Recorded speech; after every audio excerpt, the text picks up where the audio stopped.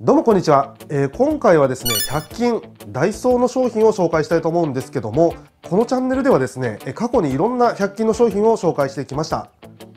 言ったらですね新しい商品が出るとすぐ紹介してたようなところがあったりするんですがだんだんとですねキャンプを重ねていくと、まあ、100均で済むものは100均でいいんですけど100均じゃやっぱり無理なものってのも出てきましてちょっとこれは厳しいなというものに関しては、えー、紹介するのをやめるようにしてきました。そんな中でですね今回100均の商品を紹介するということなんですが、えー、これはね全てダイソーで購入したものです。まあ不要なものであればねいらないかなと思ってたんですが実用性があるもの、えー、当分使えるものということで今回は選んでます。購入したものとしてはですねまずホットサンドメーカー。これは1000円のものです。そしてガイロープ。これは4点購入しました。卵ホルダーが1つにカッティングボードが1つ。えそしてまな板が1つに寝袋が1つとなってます。じゃあまあどんどんね開封していきたいと思うんですがえまずはこちら。ホットサンドメーカーです。これねだいぶ前から気になったんですが、まあ、誰かのねレビューとか見ようかなと思ったんですがそれよりも自分でレビューした方が早いやと思ったんで今回これを買ってみました。さあどうだろう。見た目は普通のホットサンドメーカーですね。ここもちゃんとロック式になってる。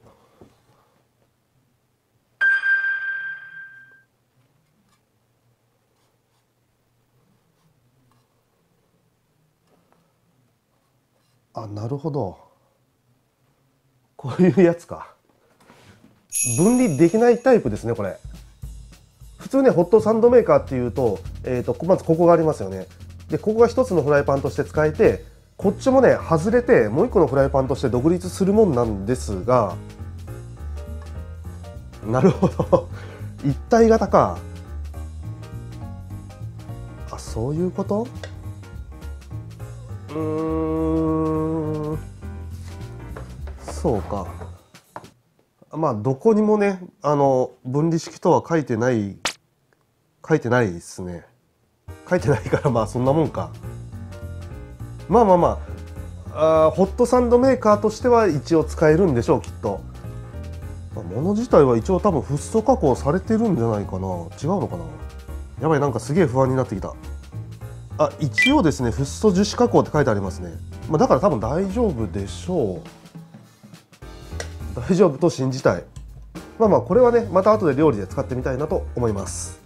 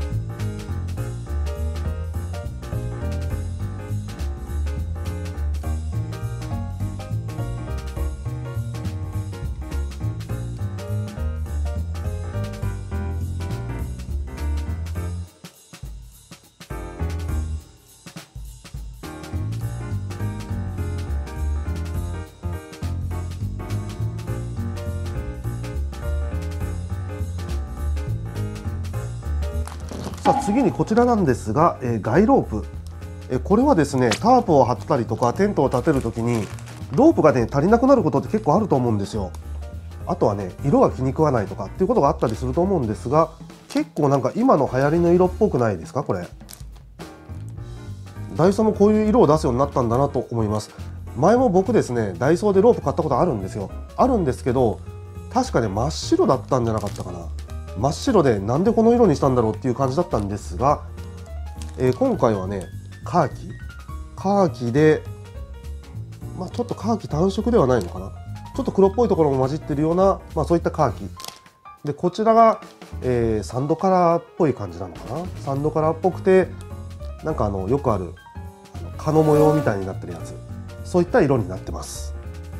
でこれをね今回はね4つ買ってきました。っていうのがあのワンティグリスのねえー、僕ロックシールドっていうのを使ってますが、えー、そのロックシールドとかあとまあ普通のタープとか使うにあたってまあ、単純にですね、えロープが足りないっていうのと、え違うものを組み合わせて使ってるので、え色の統一感が取れてないっていうところがありまして、まあ、色味はねこれとこれで違うんですけど、まあ、サイトとしては結構統一感出るのかなと思いまして、え今回これをね4つ購入しました。ただねこれあのまあ1個欠点というかなんというか3メートルなんですよ。3メートルなんで、まあ、もしかしたらそのタープ張ったりとか、えテントを張るときにまあ、位置によってはちょっと短いということが起こり得るかもしれないんですがまあまあ3メートルあったら十分と思うようにしましょう。そこはもう自分の工夫次第で何とかしましょう。さあ続いてはこちらなんですがえこちらがねまな板になります。竹製のまな板なんですが大きさとしては30センチ ×22 センチ。で厚みとしては多分1センチぐらいでしょうかね。1センチぐらいあるのでまあ、すぐ壊れるようなものじゃなくて結構頑丈な作りなんじゃないかなと思います。であと竹製なんで、まあ、清潔に使えるようなねまな板になってるんじゃないかなと思います。え価格はね200円ただこれ200円だったら十分じゃないですか。まあ、ダイソーではですねただの木のまな板みたいな、えー、なんか結構厚みのあるやつだったかな。それも売られてるんですがかなりですね水を吸収しやすくて、えー、どうもね変色しやすいっていうところがあったんで、まあ、プラス100円出してですねこういった立派なまな板が買えるんだったらえー、もう間違いなくこっち買った方がいいなと僕は思います。で続いてですねアカシアのカッティングボード、えー、これはね大きさが18センチ ×21 センチとなってまして厚みで言ったらどれぐらいあるだろう？1.5から2センチぐらいあるのかな？でこれはね300円商品となってます。で今回ねこれ300円商品なのになぜ買ったかというとキャンプしてるとですねまな板って絶対使うと思うんですがただねそのまな板を何回も洗いに行ったりするのって面倒くさいですよね。特にあの水場が遠かったりするともう面倒くさくてやってられないということになりがちなのでまな板はねちっちゃいものが何個かあった方が実は使い勝手が良かったりするんじゃないかなと思ったりしてます、まこういったまな板があればですねまあこの上で物を切ってそのまんま出すと。でこの上で食べるってこともできると思うので、まこういったものがね何個かあると結構便利になったりするんじゃないかなと思います。でまたアカシアの一応これ塗装がしてあるやつかな。なので、まあ、洗い物もしやすいという利点があるんじゃないかなと思って今回はこれを買ってみました、まあ、少々のステーキぐらいだったら乗せてここで切ることできると思いますんで、まあ、これはね1個あってもいいものじゃないかなと思います。ということで次行ってみましょう。はい、えー、次がね卵ホルダーです。卵ホルダーはね、えーと、他の100均とかでも多分見たことあったと思うんですが大体ね4個入りだと思うんですよ。これはね6個入り。6個入りというかね6個収納できるやつ。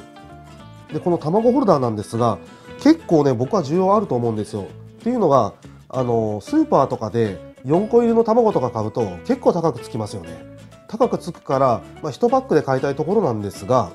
1パック買うとね今度残っちゃったりとかしてどうしようってことが結構ありうるんですけどこれにですね家にある卵をこう入れて持っていけるんでまあ、なんか無駄な出費も抑えられるのかなというのと、まあ、例えば4個だったら夜なんか作ったりしますよね。で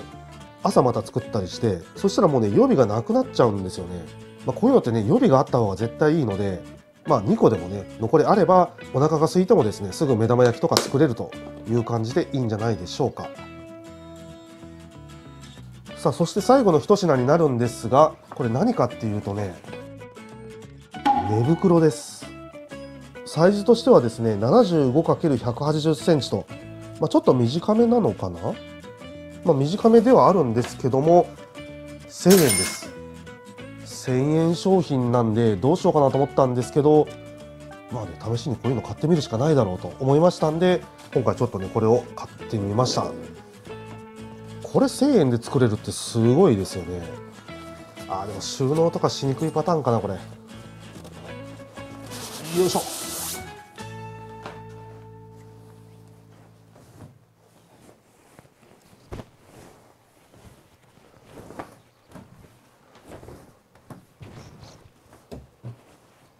一応ね物としてはこんな感じなんですが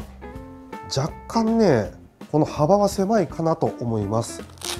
でここファスナーになっててできれば開くタイプだとありがたいけどあ開く開く。あーなるほどね。